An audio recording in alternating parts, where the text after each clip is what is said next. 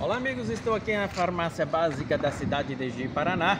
É, a mesma se encontra fechada nessa sexta-feira, é, segundo informações, é por conta aí é, do ponto facultativo. Mas nós queremos aqui mostrar para vocês que não tem nenhum comunicado para orientar as pessoas com relação a isso. Vocês podem observar, nós temos aqui o horário que é das 8 às 17h30 de segunda a sexta-feira. Nós temos aqui um documento que informa horários de ônibus, mas na verdade nós precisávamos aqui, senhor prefeito, é, seria um comunicado com pelo menos oito dias de antecedência de que haveria esse fechamento da farmácia por conta de um ponto facultativo e que tivesse também uma divulgação nos meios de comunicação uh, para que a população soubesse. Várias pessoas têm procurado essa, essa farmácia no dia de hoje e têm dado viagem perdida.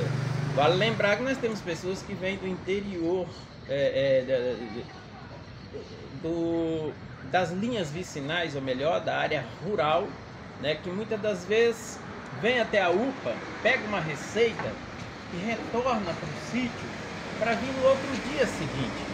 E vale lembrar também que quem pegou uma receita na quinta-feira, é, sendo antibiótico ou qualquer outro medicamento controlado, ela termina seu prazo com 10 dias. Então só aqui estamos comendo em média de 4 dias da, do vencimento da receita.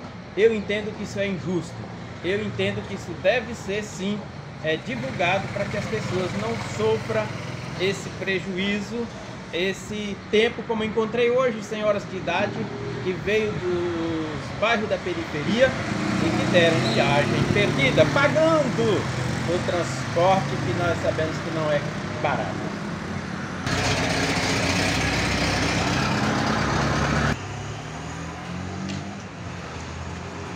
Pois é, gente, a situação dessa farmácia básica, ela já vem acontecendo isso de vários prefeitos atrás prefeitos A gente já vem cobrando há tempo, porque ó, a população ela não tem dia para adoecer, quer dizer, doece sábado, domingo, de noite, feriado, qualquer hora. Então, a gente cobra as autoridades, principalmente agora o Joaquim Teixeira que entrou agora, faça alguma coisa para a população de Paraná, porque o que eu vejo que essa farmácia, de, de sábado, domingo e feriado, a farmácia ela tinha que ficar aberta 24 horas para atender a população de Paraná. Enquanto eu vejo vereadores que tinham que estar fiscalizando aqui desde o prefeito passado, fazendo é, é, é, propaganda de farmácias particulares, entendeu? Mas você tem que vir aqui, vereador, fiscalizar isso aqui. Por que, que essa farmácia básica ela não fica aberta no sábado e no domingo e feriado? Agora tem ponto facultativo, emenda o feriado, a farmácia fica fechada.